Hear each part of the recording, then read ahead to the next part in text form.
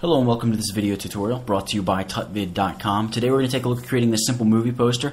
This is kind of like a knockoff movie poster of uh, the movie. I'm not even sure if it's been released yet to be honest with you, called uh, The Boat That Rocks or The Boat That Rocked, something like that. We're going to be creating that. This actually was in the May-June tutvid.com newsletter, May-June of 09 that is. Uh, so if you are not a member of the newsletter, I strongly suggest that you go and sign up. That's www.tutvid.com slash newsletter. You'll get all these tutorials uh, you know, a little earlier, maybe a whole month earlier or so. So with that in mind, let's go ahead and get started on this poster. Well, the first thing we want to do is come File, New, and here we want to make sure the width is 650 and the height is 960. Background contents, set them to white. Hit OK. Hit the G button, that's going to grab the gradient tool, and just click on the little gradient preview area up here. That's going to open up the gradient editor. We want to choose the default black to white, not the foreground to background, the black to white. All right, double click the black color stop, and we're going to set the hex value right here. It's the pound sign. The hex value to A8, A8, A8. It's going to give us sort of a medium slash light medium gray. Hit OK. OK again. Now with the gradient tool, we're going to start down on this bottom corner and drag to the top corner.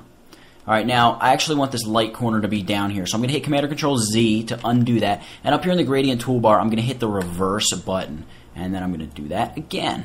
Just like that. Perfect. That's exactly what I need. Let's go on to the next step. And that's going to require the text tool. So hit the T button. That is the hotkey for the text tool.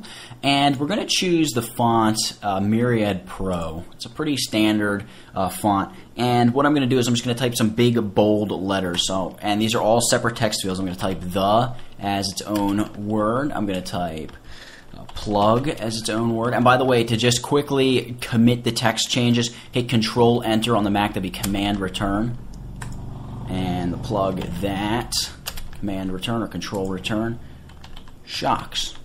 There we go. So now we have our text.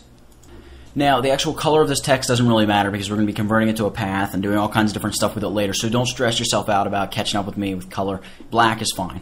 All right, what I want to do is select the shocks layer and the the layer here. It's just the layer that contains the word the, and hold the shift key while I select that. It selects all four text layers. Great. We're going to go window character to open up the character panel.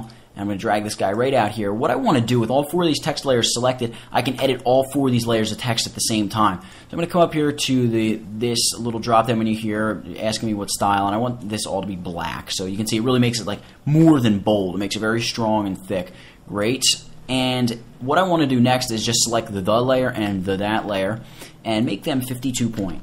All right, so do that and hit tab. Then I'm going to select shocks and plug, and I'm going to make these 155 point. All right, great. Just like that, we have now resized our text. It's time to go ahead and sort of organize it on our document what we now have to do is arrange this text. So I'm going to use the Move tool, and you can see I've got it selected already. The hotkey for doing that is just the letter V. Very, very easy. Now, notice I have the shocks layer selected. That means that right now, great, I'm dragging the shocks layer around. The problem is now when I click on plug, you all probably know that it's still going to drag the shocks layer around.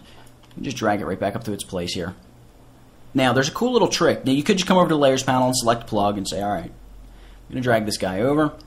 But there's a cool trick. If you just hold down Control or Command and click on a layer, or click on the artwork on the document, you can see it automatically selects the layer. So now you can see that without even going to the Layers panel, I move the word the.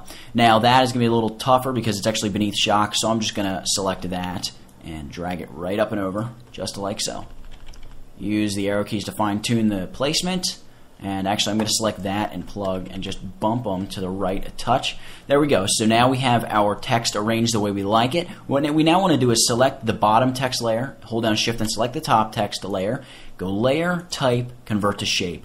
What we now have is each of our text layers has been converted to a vector shape layer. So we have a vector mask essentially masking off a fill layer. We can go in and double click on any one of these colors and change the color of our text just like that. All right, so I'm going to hit cancel and we're going to leave that as black. The thing I really like about this is we now have basically converted our text to a path. We can just edit the path here in the vector mask and it's going to edit the way our text looks. So let's take a look at that.